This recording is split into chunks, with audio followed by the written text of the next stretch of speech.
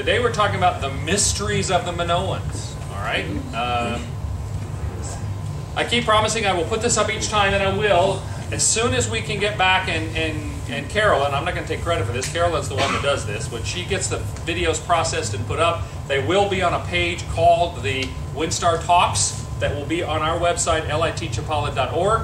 Um, and again, my my email address there in case anybody needs to write me if you have a question, you have trouble getting onto the website or whatever. Please don't expect this is going to be up on Monday after we arrive back on you know this weekend because it's going to take a while to get home and work. She was actually working on the, the uh, reducing the the PowerPoints. Uh, you have to compress them in order to get them on, on the web. So she was working on that this morning. But do let me know if you have any questions. We are talking today about the mystery of the Minoans. This afternoon we will do our last talk of the trip, and that will be the unlikely rise of Greece. But today is kind of a lead into that because today we're actually going to, you're getting a twofer today, all right? We're going to talk about the Minoans, but I'm also going to get into the Mycenaeans and tell you about them because those two ancient cultures, the Minoan culture first, and which was on a, the island of Crete, where we're going to be tomorrow, and you'll see the Minoan, um, the palace of Knossos, and other uh, artifacts. That culture was first. In fact, the culture of the Minoans on the island of Crete is considered the first civilization in all of Europe. Um, and then the next civilization to come along, which we believe may have been responsible for the decline of the Minoans, were the Mycenaeans. Whereas the Minoans were on the island of Crete, the Mycenaeans were on the mainland. They were in the Peloponnese, the Peloponnesian Peninsula uh, of Greece. This obviously is Crete. This is Greece as we know it. This big sort of thumb sticking out here is the Peloponnese or the Peloponnesian Peninsula. And Mycenae is right there. Now, I'll talk about Mycenae in a few minutes, but let's talk for a little bit about uh, the Minoans. Uh, well, I will say, um, we have, until the 20th century, we knew virtually nothing about Greek civilization before about 750 BC. Here, we're talking about, as you can see, as far back as 1700 BC. That's a big gap, a thousand years. The only thing we knew about ancient Greece, we knew from myths, from stories that were part of the Greek oral tradition that passed down to us, the mythology. And by the way, don't ever make a mistake between the Greek pagan religion and mythology. The idea that they believed in the pagan gods, Zeus and all the others, and worshiped them and they had temples to them, is different than mythology. Mythology are just stories, usually about the gods doing something. But that was, the mythology is not part of their worship. It was stories they told about them, okay? About the gods and about people involved in that. So, before the 20th century, we knew almost nothing.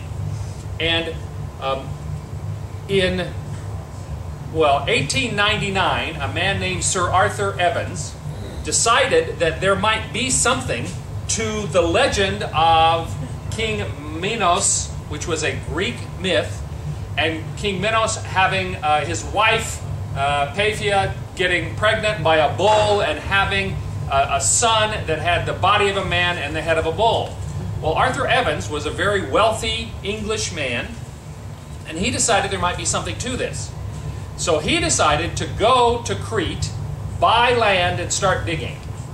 Well, he discovered a bunch of things we're going to look at, but one of the things is he started a process by which they began to discover that not only were there a number of sites for a, civilization which he named the Minoan after King Minos of the Greek myth, but they began to find uh, other sites in other places throughout the Aegean Sea to, to deter and determine that those were colonies that were planted by this civilization, the earliest European civilization, which was located on Crete. Uh, you'll notice these, these sort of boxy looking things from where you are are the sites of palaces that were later identified. He started in the area of Knossos, which we're going to visit tomorrow. Um, but then they've also identified that Akrotiri, which is on one end of the island of Santorini, which was called Thera back then, was a major palace and a major center for Minoan culture.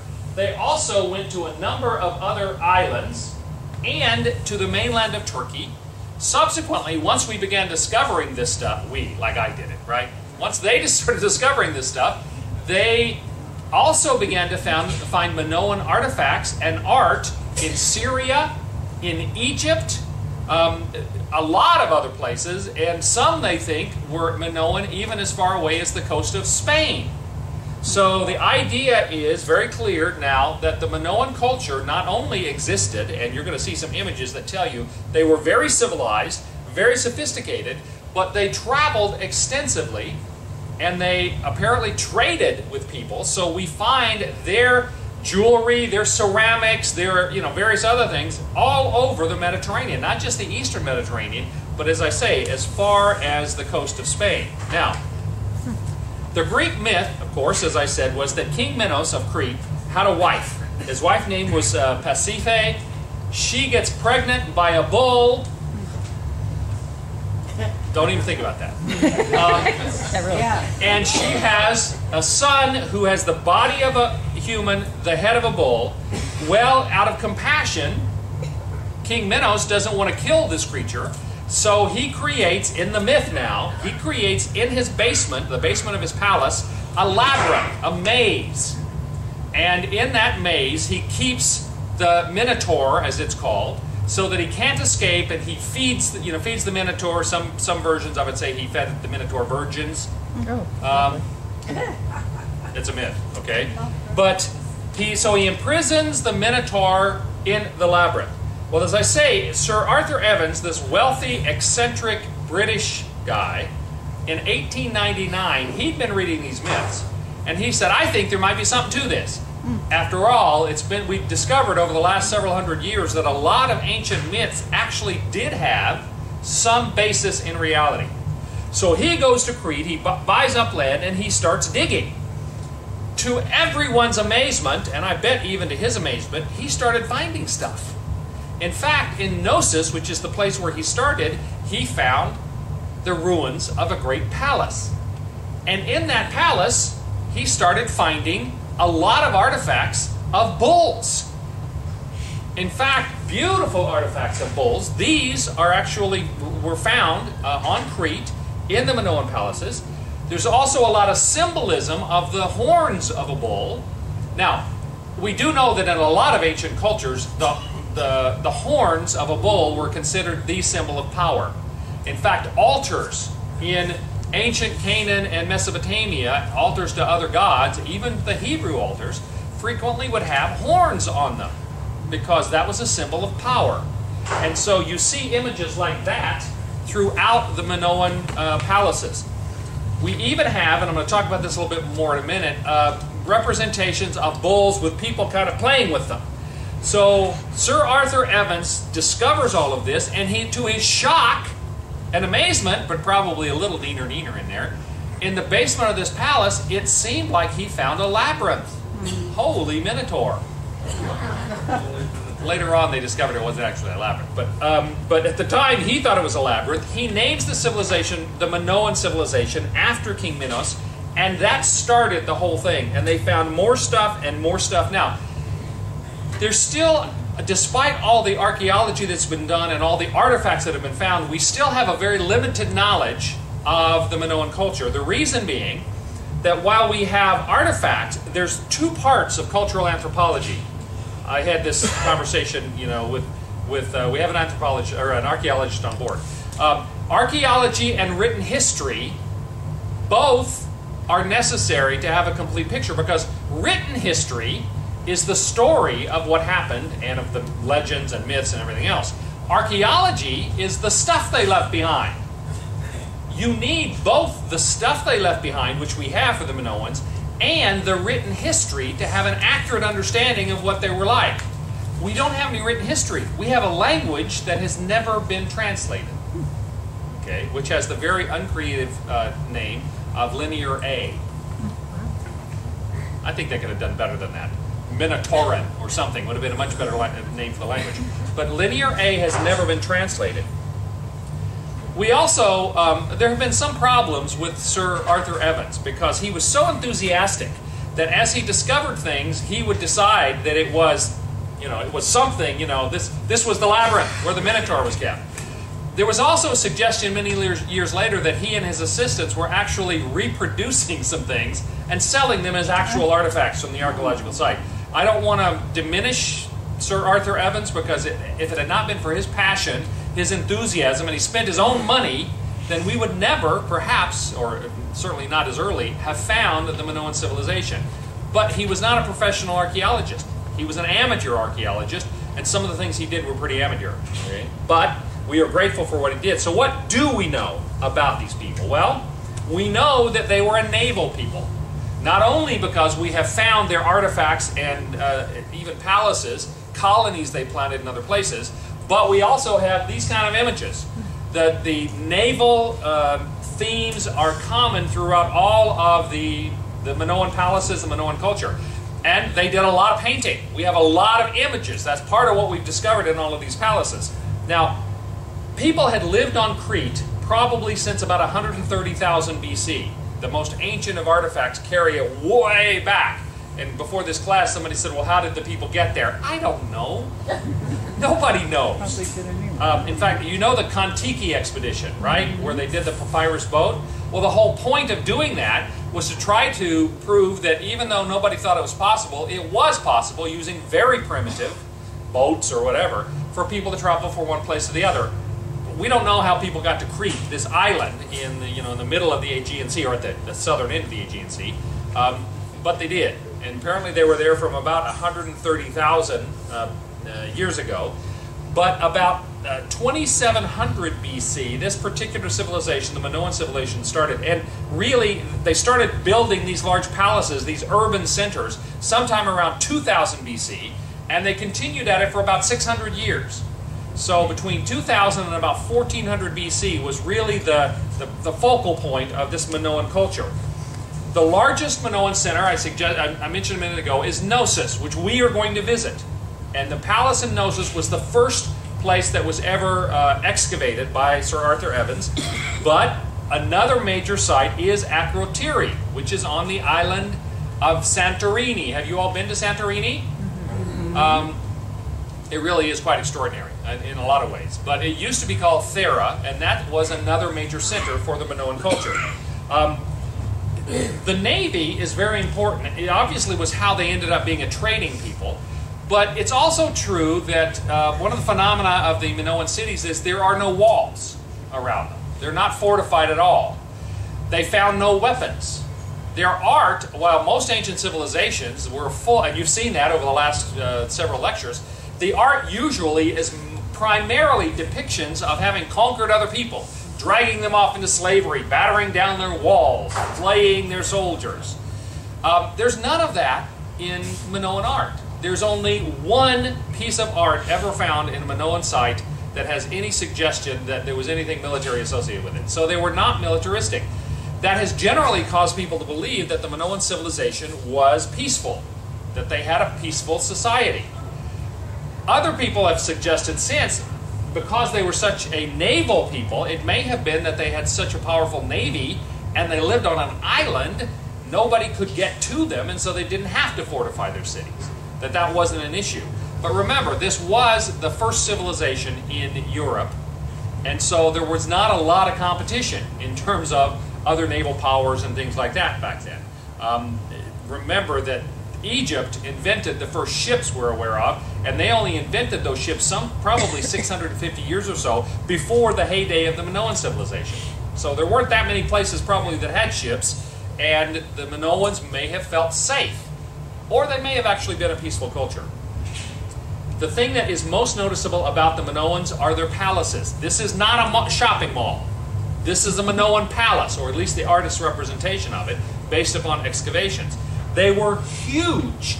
The, the Knossos Palace that you're going to have a chance to visit tomorrow was over five acres in size. Now we call it a palace. It probably was where the, the chief leader or king lived, but it was also a, an administrative complex. It was kind of the center of government, the center of culture for whatever that area was. But there were multiple of these palaces on the island of Crete.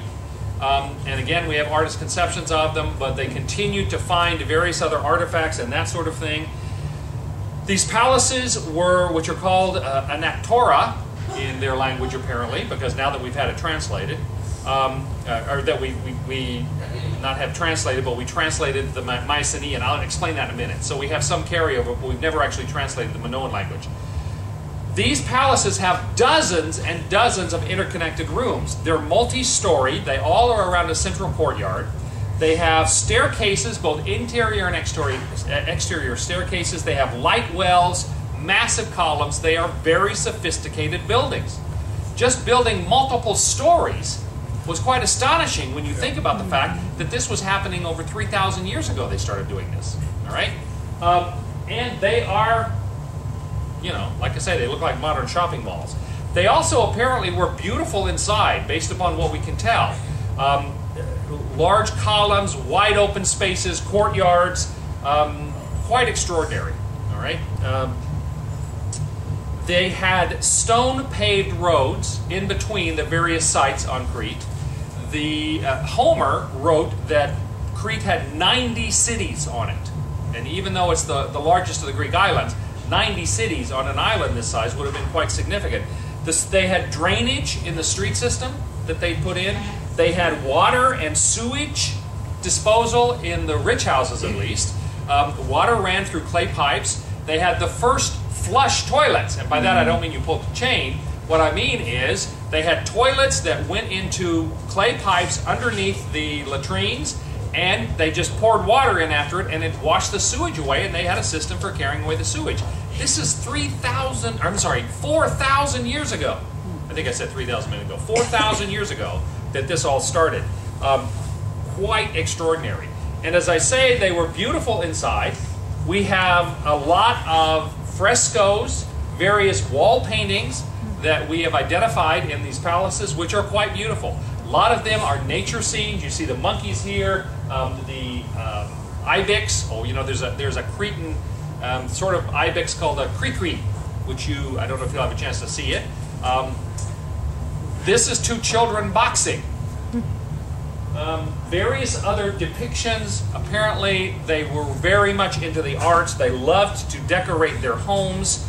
Um, they also, a lot of nautical scenes. You'll see a lot of dolphins in their pictures because they, you know, they sailed, they loved the sea, and it's understandable, both for the Minoans and the Mycenaeans. Uh, the Minoans lived on uh, an island, but the Mycenaeans also had a major naval emphasis because 72% of all of Greece is within 25 miles of the ocean. And so it's understandable that there's nothing that didn't have a nautical theme throughout this whole region um, at that point. Um, they apparently had great wealth, not just because, whenever you see signs of games, you know, boxing and things of that sort, they played games, they did art, they had ceramics. Whenever you find that sort of thing in a culture, it's a sign of the fact that their culture was not only civilized, but also had leisure time to do those things. They weren't fighting for survival all the time, you know, like some of the early civilizations or those that were, you know, very militaristic and were always in battle. And so they have, um, they have large storerooms because they had excess goods. They primarily, we know that they grew cereal grains and grapes, you know, grapes being one of the major uh, Mediterranean products, as, uh, as you know, and olives, so that they have olive oil. They have these storerooms. In fact, Sir Arthur's Labyrinth in the basement of the Knossos Palace, they now have quite definitively determined were storerooms large storerooms, interconnected rooms for storage. It was not a labyrinth for the Minotaur. But they had like giant Costco closets, if you know what I mean. You know that expression, Costco closet? Okay, you don't go to Costco. New houses that are built, they build large pantries in them, which they call Costco closet. Because, you know, you go and buy 80 rolls of toilet paper, you got to have some place to put it, right? Well, they had these giant storage areas. In fact, they created these large ceramic pots called pithoi to store olive oil and wine and grain and various other things. So the arts were very important. They were wealthy. They had um, an opportunity for a more leisurely lifestyle. Um, this, for instance, I mentioned, I showed you a small version of this. Apparently, these people did bull vaulting. now, we don't know if this was a sport or a religious act, but this is actually from the one of the palaces. you'll notice that this one young uh, man has a hold of the bull's horns. Another one is vaulting over his back, and it appears this one is getting ready to catch him. So these people danced with bulls. Again, we don't know if this was this was recreational or a sport, or if they did it as part of a religious ceremony because they had such such admiration for the strength of the bull. But this is one of the astonishing things about this culture. This is how much they emphasize bulls in their whole culture. Now, the Minoans were a handsome people. Um, and strangely enough, all the representations of women have them with white skin, and all the representations of men have them with reddish brown skin. It may be that this was a beauty thing, right? We still have, oh, she's got skin like porcelain, right? That's still a goal. Uh, the men may have wanted to look tanned and burly and that sort of thing. Women dressed quite fancily, although they had a very distinctive aspect to their clothing, which you may notice there. they had, the women wore gowns or, or, dresses that left their breasts exposed. All right, I'm not going to stay on this too long for the sake of the men in the audience. But we know that's true because these are actual paintings from some of the palaces. Um, men wore loincloths and skirts. Uh, there's also a suggestion women are represented very often in the art.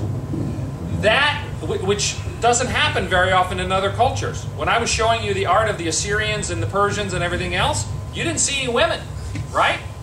There are a lot of women represented in the art. The fact that it may have been, we think it may have been, a peaceful culture suggests that women were at least equal, and there may have been even a, it may have been matrilineal, that the, the authority passed through the women, not the men. There may have even been women in significant positions of power. We don't know that because we don't have the written language. But all of the visual art, artifacts that we have, archaeological evidence, suggests that women were very important in this culture and men were not doing everything, going out whipping on up, up on everybody they could and then bragging about it, and that was the focus of their whole culture. Um, when women are in charge, it's a lot more peaceful. Okay? It's hard for me to say that as a man, but it's true. Okay? And so it may have been more matriarchal.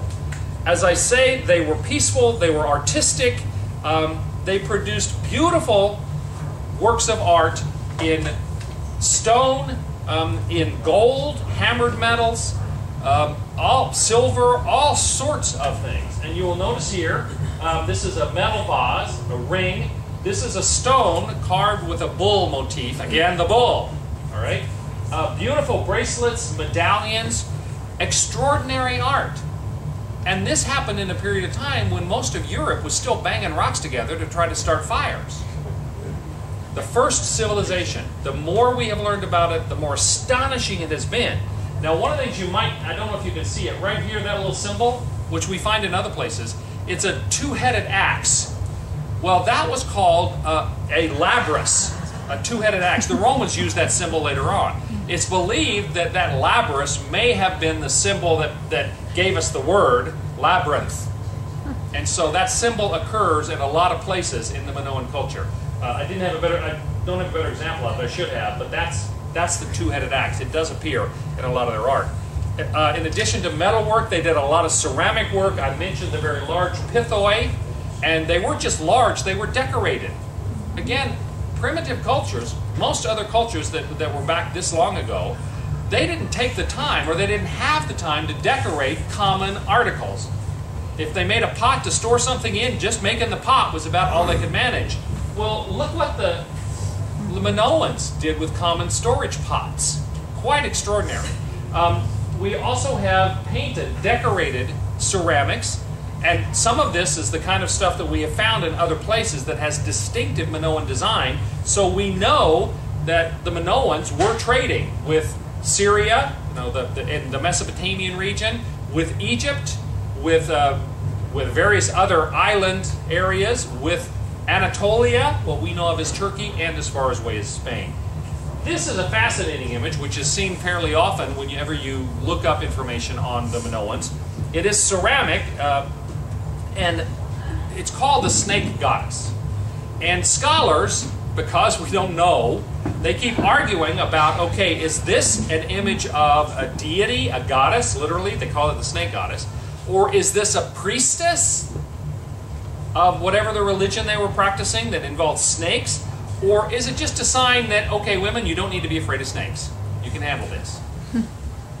we don't know. But this is a common image that you see as an artistic representation of the Minoan culture. And you will notice, once again, she has the very distinctive female dress of the Minoan women. Okay? Um, I mentioned the fact that the, the language of the Minoans, which is called Linear A, has never been translated. It is a consists of syllabic symbols. This is a, a, a famous article called the Phaistos Disc.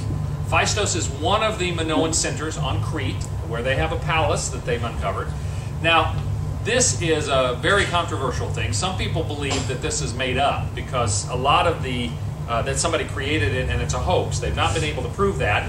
But a lot of the symbols on this Phaistos disc, and it's a it's a spiral kind of imagery of symbols on both sides. Some of them seem to be from other uh, examples they have of the linear A language. Um, some of them don't exist anywhere else.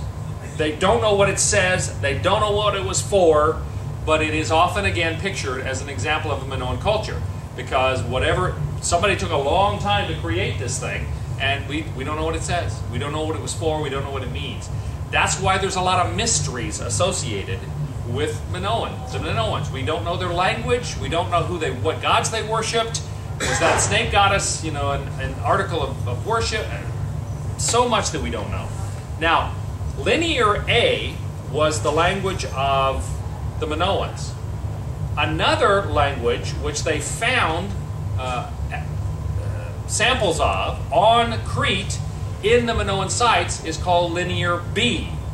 Again, I think they could have done better than that. Linear A, Linear B.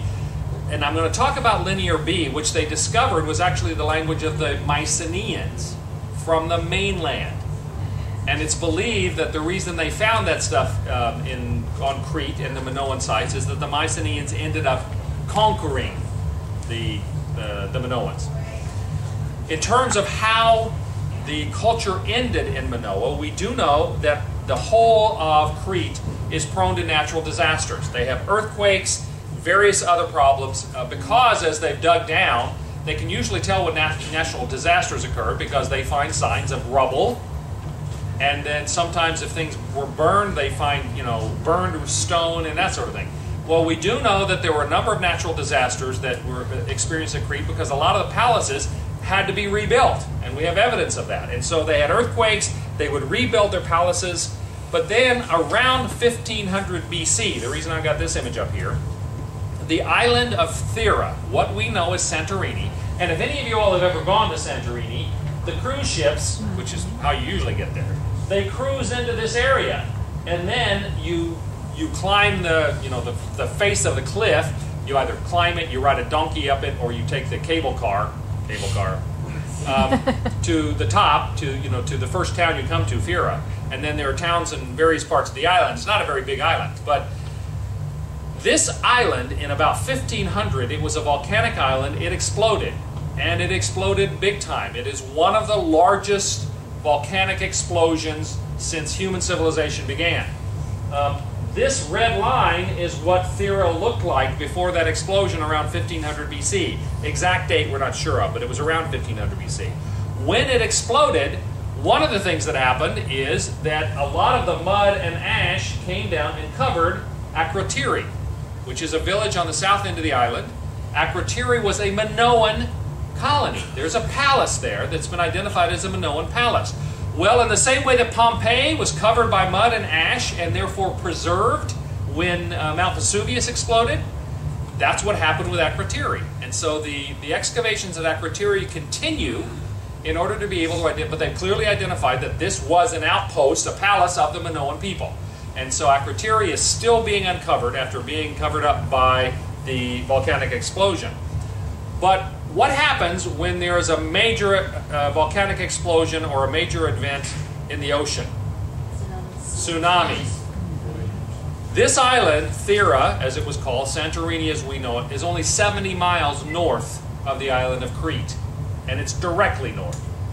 Which means there would have been a huge tidal wave. And again, we have evidence that a number of the various uh, Minoan outposts or cities or palaces, uh, especially on the north side of the island, facing toward Thera, um, suffered from a tsunami. They suffered that, that damage. And that really set back the Minoan civilization. It didn't completely destroy it, but it really staggered it.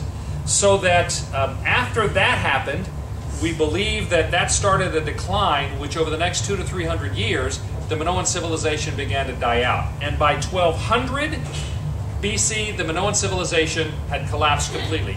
The population plummets, the cities are abandoned. It's believed that somewhere in that period between the, uh, the explosion of Thera and the tsunami around 1500 and the actual just complete uh, loss of the Minoan civilization, that they were invaded, probably by the Mycenaeans. It's thought they may also have suffered attacks from various warlike peoples that came from uh, from Anatolia, what we know as modern day um, Turkey. So the civilization pretty much died in 1200 BC. And we've only known about this for about 100 years. And we're still finding out a lot about it. At some point, we may learn enough to be able to translate their language, but we can't right now.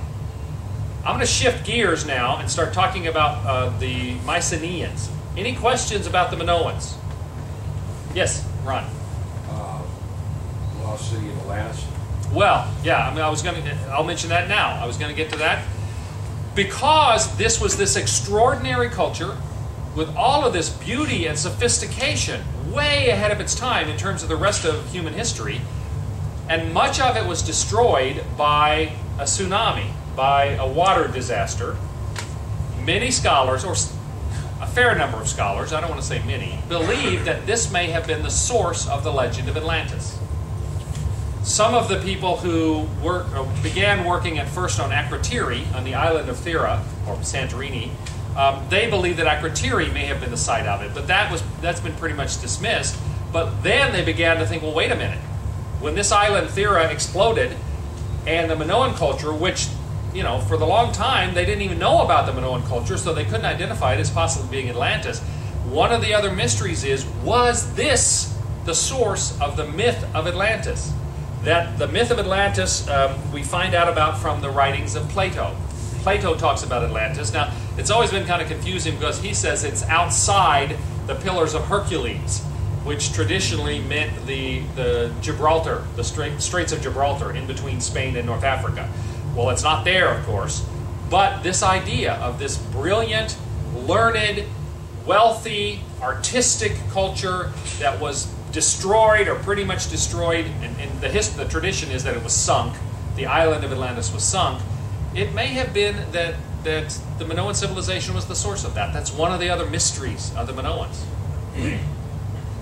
Any other questions about the Minoan peoples? How, how big was the title? we don't know. 15, 1500 BC, there's no way for us to measure it for sure. I mean, there, I'm sure there are experts who know, but I don't know.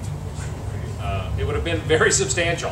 When an island that big blows up 70 miles north, then you know that the tsunami is going to be very significant.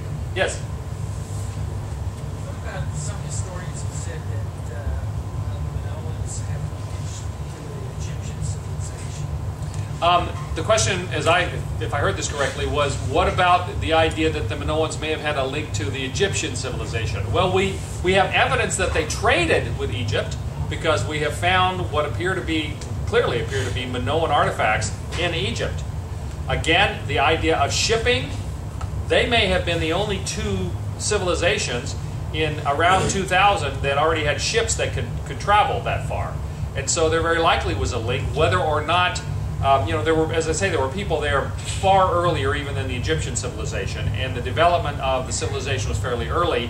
Um, it, there's enough of a difference that it doesn't appear, as to me at least, and there may be people who disagree with this, that the Minoan civilization was in any way a, a product of the Egyptian, but certainly those two civilizations, which were two of the earliest and most sophisticated, that they did have interaction. Actually, you know, around, well, that they may have had some interaction. Are you aware of some theories that they may have actually been a product of the Egyptians? I went to a paper back in, uh, Okay, many years ago about the Minoan civilization. All right. So you have a scholarly interest.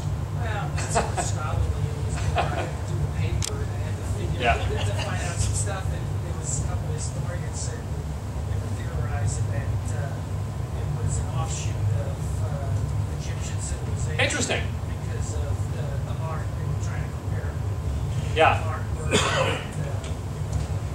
Yeah, it's there's a little bit of difference uh, in my perception, and, and there there could be something to that. I'm not aware of that, but the um, the Minoan art seems to me to be far less formal. I mean, you saw the images. You know, there are people playing and dolphins jumping, and it's very organic, very very simple in a sophisticated kind of way. I mean, like the cave drawings are simple but extraordinary. But it, the Minoan art, whereas the the Egyptian art tended to be very formalized. I mean, you know, this kind of thing, very almost static compared to the sort of organic imagery and the, the naturalistic kind of thing that the Minoans had. Uh, that's not neither one is better or worse, but they it seems to me as though they were different. But I'm not I'm, I don't claim to be an authority, you know, on all the details of this, so that's possible. Anything else?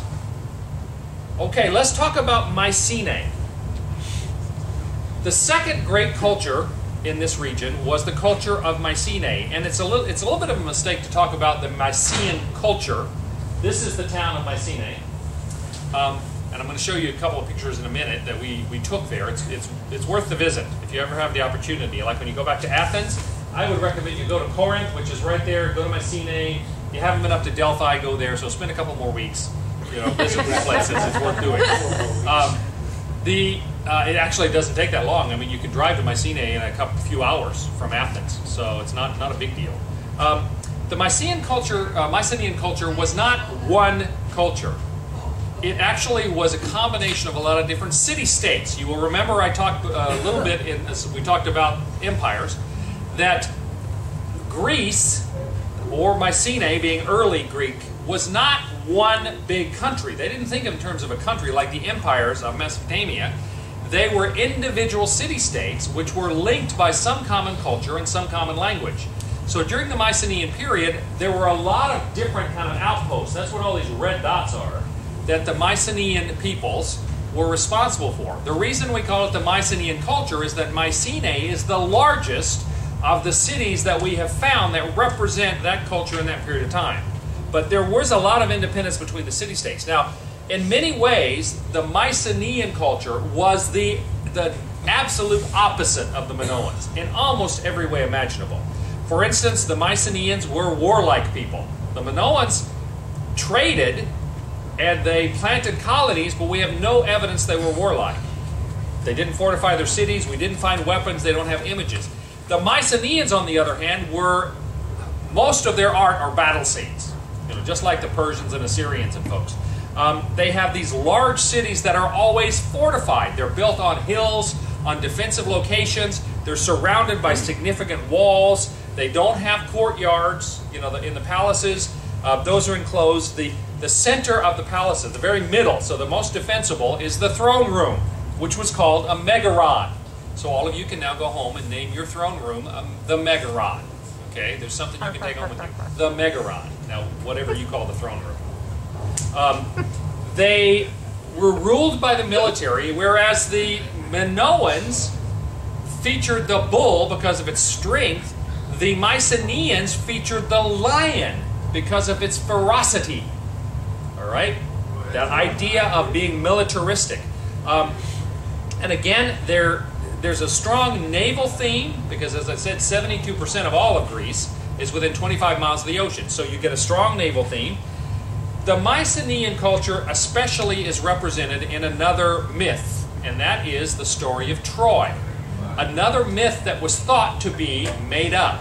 Homer's Iliad, which was written down about 750 BC, um, is the story of, or actually written down later than that. It was it was first orally transmitted in 750 BC, probably not written down for 250 years later because it was there were oral traditions in there. But it's a record of a a, uh, a novelized, you know, rewritten for television kind of version of the Trojan Wars.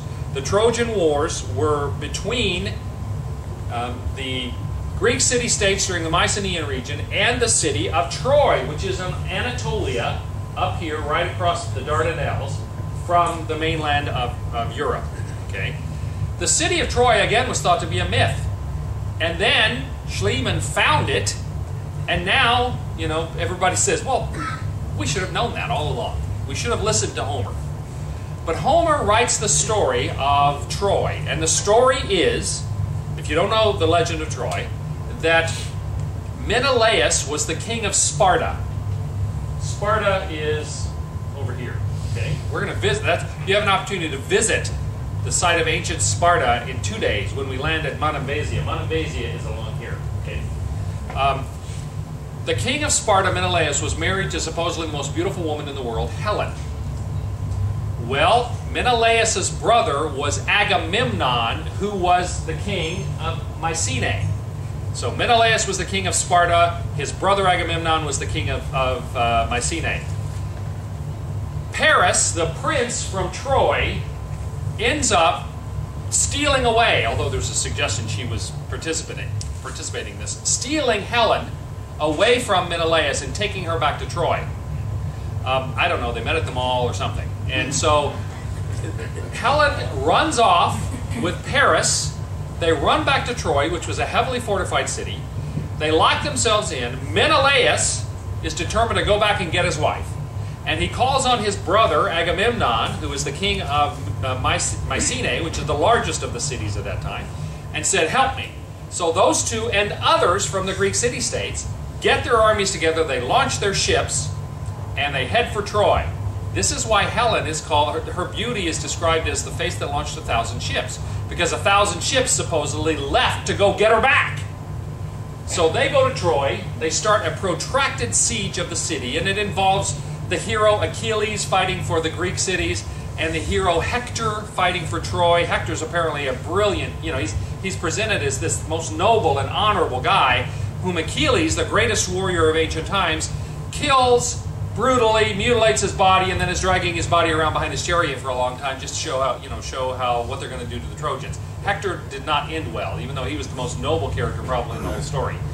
Finally, you know, after a protracted siege where they can't, neither side can win, the Trojans are locked in their city, and one night they wake up, the Greek armies are gone, and there's a giant horse made out of wood parked outside their gate, which they perceive as being a, a token of a, a, gift given to the city by the Greeks as a way of acknowledging, okay, you guys win, we lose, here's a present for you. So they pull the, this giant horse into the city, as you know, the Trojan horse. And that night, Greek soldiers climb out of it. The Greek army, under cover of darkness, has come back. They open the gates, the Greek soldiers come in, they conquer the city of Troy. That's the legend of Troy. And it's because of that, as we talked about, because the Greeks defeated Troy through trickery, that a lot of the cities along the coast here became Greek in their orientation. They were absorbed once they had been part of the Trojan Empire, they were or uh, kingdom. They were uh, absorbed into the Greek side with the defeat of Troy. Now that was thought to be just a legend. That's the story of Homer's Iliad. And this afternoon I'm going to talk a little bit about Homer's Iliad the writings of Homer in ancient Greek times, the classical Greek times especially, we have no concept of how important they were. I mean, we, you know Homer's Odyssey, the story of Odysseus and his, well, Odysseus, uh, Odysseus fought in the Trojan War. The Odyssey is his story of trying to get back home, and the gods keep doing things to keep him from getting there, and so he has all these adventures. We, the Odyssey is more popular in modern days. The Iliad far was far more important to the ancient Greeks we have no conception of how important the writings of Homer were. If you took, you know, by comparison, relatively speaking, the, the writings of Shakespeare and the writings of, you know, of, of the Bible and everything else that we have today in terms of emphasis, Homer would exceed that to the Greeks. When they have found um, ancient libraries, more than half of the books are either Homer or their commentaries on Homer. All right? Hmm. Huge deal. And so this legend of Troy, the Iliad, was a great, uh, you know, a very important thing, and yet was thought to be made up. Homer made it up, this blind oral poet. It got passed down, it got written down by other people, and, you know, this isn't real. Well, they found it. And then later, they started finding, like Mycenae and others, and discovered that there was a lot of truth to this thing. Again, never completely discount myths or traditions or legend. because over and over again we have been finding out that there's more to them than we realized. Okay, Troy exists. The Minoan civilization existed. They did emphasize both, all of that. This is the city of Mycenae, the place where you can go. And you'd be surprised how much of it is still identified from this picture. Um, this is the main gate, which which is called the, the Lion's Gate, and I will show you the, a picture of the Lion's Gate, which still is there. It's called the Lion's Gate because there are sculptures of two lions right over the gate. Remember? Whereas the Minoans honored the bull as a sign of strength, the Mycenaeans honored the lion as a sign of ferocity, okay, of victory. This area is a burial area. And when they uncovered or they began to excavate the burial area, they did find bones. They also found a huge number of artifacts gold, jewelry, death masks, all kinds of stuff. And all of this is, you know, you now enter here. The, a lot of the walls are still existent. You walk up the hill, and this was the main palace area. And um, while it's just ruins, it's surprising how much of that is still identifiable.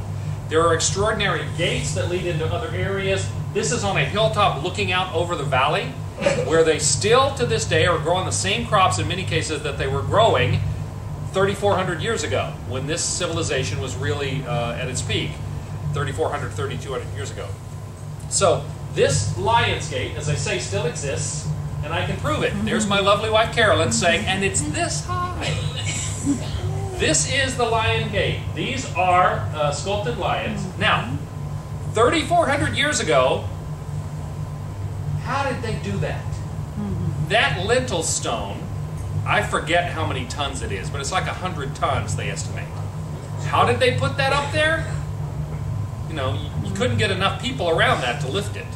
Um, and so, extraordinary building, and, and it's a mystery. We, I was talking with someone about that. You go to locations like this, ancient times, and you see this kind of construction. I mean, the, the pyramids. They keep trying to figure out how they did that. Somebody claims they know how, and then others say, no, that's not possible. Um, some of this stuff is even more extraordinary. This is this is not inside the city. This is just before you get to the city. This is called the Treasury of Atreus. And when you go inside, this is a, a friend of ours who was on the trip that, that we visited this. You go, so you get some idea of the scale. Again, the lintel is huge, but there's a stone in this wall, which I, I don't have a picture here for, but I did take pictures of it, which probably is four, four or five times that size, and it's in the, mid, in the middle of the wall. How did they do that? I don't know. You go in here, and as I say, it's a honeycomb kind of shape. And it's so perfectly built, if you stand in the middle, the acoustics will scare you. You know, I was taking pictures, trying to get some images through the opening of the door and everything, and I stepped back, and all of a sudden, I could hear every. You walk into this place, and it's dark, it's not lit. You have just the light from the door, and so everybody's sort of whispering, they're being very quiet. I stepped into the sweet spot in the center of this sort of honey, uh, this hive shaped built room. I could hear every whisper in that room. It was astonishing, and that the indication was it wasn't built for that purpose, but that it was so perfectly shaped and created that the acoustics are perfect in the thing. 3,400 years ago. So you can visit Mycenae, and as I say, uh, you know the walls, many of the walls you can see back behind my lovely wife Carolyn, um, that a lot of it is still intact. You can visit that. It is very much a fortified city. Um, they were, however, artistic. They don't have the level of artistry or the, the sort of whimsical, and maybe that's the word I was looking for a minute ago. The Egyptian art, as impressive as it is, does ne never has a sense of whimsy, whereas the Minoan art does. Dolphins, people playing games, uh, people vaulting over bulls. Okay, there's a sense of whimsy uh, and a light touch to it. Well, you don't get that in Mycenae, um, the Mycenaean art, but uh, this is about as whimsical as you're going to get. But they do have a lot of ceramics. They had a, have a lot of other things. This mask um, was has been called the Mask of uh, Agamemnon. You know, when it was discovered, the person who was an amateur archaeologist who discovered it immediately announced, "This is the mask, the burial mask of Agamemnon, the great king." Well, probably not. It probably came from a different period. They've now figured out, but um, very significant artwork there as well, but not nearly the artistic focus. You get the sense from the Minoans that they spent most of their lives in leisure, playing games, making art, that sort of thing. The Mycenaeans were much more focused on their military uh, conquering and their military orientation, and we get a lot more of that sort of thing. This is an example of linear B, and there's a fascinating story about that. This, uh, this writing was actually first found not in Mycenae, but in first found um, in Knossos on Crete. They found linear A, which they determined was because there was more of it. That was that was the Minoan language writing, and a different, looked similar but different writing, which is they later found samples of in Mycenae and other Mycenaean cities, and they've determined now that that was the Mycenaean written language, which they called Linear B. Okay, Linear A, Linear B. Linear A, the Minoan language, has never been deciphered. Linear B was not deciphered until the 1950s, and it's a fascinating story. Sir Arthur Evans used to travel around and talk about the Minoan culture. A young man named Michael Ventris, when he was 14 years old, he heard Sir Arthur Evans talking about the Minoan culture and the fact that they had found two samples of writing, which they call Linear A and Linear B, and that Linear B had been discovered as being related to the Mycenaean cities in the Peloponnese. Michael Ventris, at age 14, dedicated himself to, to deciphering one of these languages, and he picked Linear B.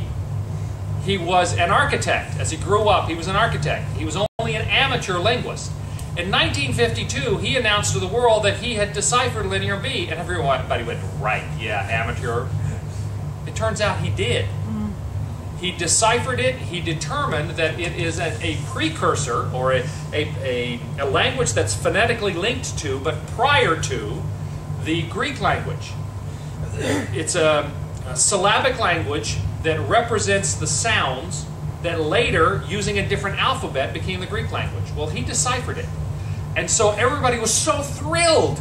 This young, brilliant young man who unfortunately died at like age 32 in a car accident um, had a great future, and I, am sure he was going to tackle linear A next. He um, he translated this, or deciphered is a better word rather than translate, and they thought, we've got all this other linear B stuff, and now we'll be able to learn all about the Mycenaean culture. Well, they started started using using the key that he had created. They started translating it and discovered it's all tax records. all right, it's all tax records which is true for many of the ancient civilizations when they, when they, like the cuneiform. The vast majority of cuneiform is either storage lists, here's all the stuff we have in the Costco closet, or it's tax records, a record of how much you owe, you know, the value of what you own, and how much tax you're paying. Okay, for you all, what's the largest single uh, source of paper probably in your house? Receipts. Receipts, tax records. The same thing was true 3,400 years ago. And so most of the linear B that they've been able to translate now, most of it has nothing to do with telling us about the culture. All it does is tell us about how much taxes they were paying based on how much they owned. But we do read the language now, um, and it'll be interesting to find out what they do with our records 3,400 years from now. Now, the Mycenaean civilization collapsed sometime between 1200 and 1100 BC, and we don't know why. All we know is that sometime in that uh, 100 year period or so, the population plummeted. Travel and communications between areas within the Mycenaean uh, uh, range of influence stopped. Trade stopped. Writing was forgotten. People forgot how to write. This was the start of what's known as the Greek Dark Ages. There was a period of time after the Minoan and Mycenaean cultures and before the start of the Greek uh, classical period, which started around 750 BC. So the gap between around 1100 or maybe 1000 BC and 750 BC were the Greek Dark Ages. Everything shut down. There not only were no records, but civilization pretty much came to a stop. And we don't know why. You know, there were dark ages in Western Europe too, although historians and anthropologists don't like to call it the dark ages. Well, I'm sorry, but they were the dark ages. Again, people forgot, people lost the ability to read and write. Um, there's a wonderful book, in fact, a whole series of books by Thomas Cahill. Do you know Thomas Cahill? The first book he wrote is called How the Irish Saved Civilization. He then wrote the, um, the Sailing the Wide Red Sea, which is about the Greek civilizations. He wrote The Gift of the Jews, about the Hebrew culture. Um, and he's written a series of these, which he calls Pivots of, of uh, Pivots of Civilization, I think is the name of the series. They're all wonderful. Well, Western Western Europe, they went through the Dark Ages after the barbarian conquest, and they had some of the same things happen there. But the barbarians never got to Ireland, and so the monasteries in Ireland kept the books, they kept the libraries, they kept the, the scholarship, and once some of the, a lot of the barbarian tribes, the Franks and Goths and others, started becoming Christians, the Irish were responsible for bringing literacy and learning back to Western Europe. It's not actually true the Irish saved civilization, because the Byzantine Empire still had civilization over in Constantinople and the East, but the Irish did save civilization in Western Europe. And so that same idea of there being a dark age happened in Greece between 1100 or 1000, somewhere in there, and 750 BC. The mark of the end of the Dark Ages and the start of the new classical period in Greece was the first Olympic Games. In 776 BC, the various city states around uh, Greece had recovered enough that they decided to get together and celebrate the new enlightenment, you know, the new renaissance of Greece by having games that everybody would participate. These were the first Olympic Games in 776 BC. That was the end of the Greek Dark Ages.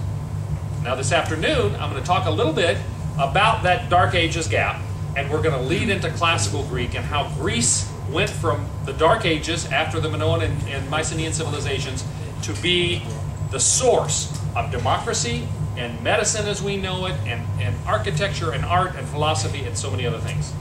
Okay? Again, I'm not going to keep you for an hour and a half today.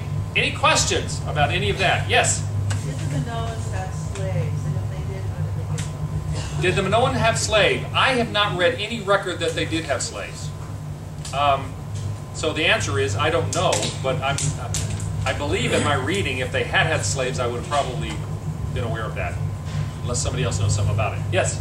Were there actually lions around the area? Well, there were lions in Asia, and and uh, probably you know they may have had lions in Greece as well. Obviously, they used the symbolism. Um, you will remember that there were lions in Israel. There aren't anymore. One of the reasons there aren't anymore is because the Assyrians, noble, you know, they valued the lions so much they hunted them into extinction in the ancient Near East. But there very, very well may have been a, a, a lion in Eastern Europe as well that is no more. So there, there are animals that have been ex extinct. In fact, um, I recall reading that the, the lion that, that was in the, the ancient Near East was probably almost twice the size of the African lions that we think about. So when the Assyrians hunted them as a sign of their manhood, okay, this is a macho thing, they, they, they had the belief that if you, if you hunt lions, then you're worthy to be a ruler. And so they got all this imagery of hunting lions. Um, you also have the Persians, you know, I, I showed you, uh, or Sargon it was, that has have images of himself sort of cuddling a lion as though it were a kitten, although it's a full-grown lion, you know, claws and everything. So they used that imagery in the Minoan time, so or the Mycenaean time, and so there very well may have been lions there too. I don't know for a fact, but they got that from somewhere, and you know they didn't have as, a lot of trade so that they'd be as aware of that. Anything else? Thank you all very much. One more coming. We'll talk about the uh, unlikely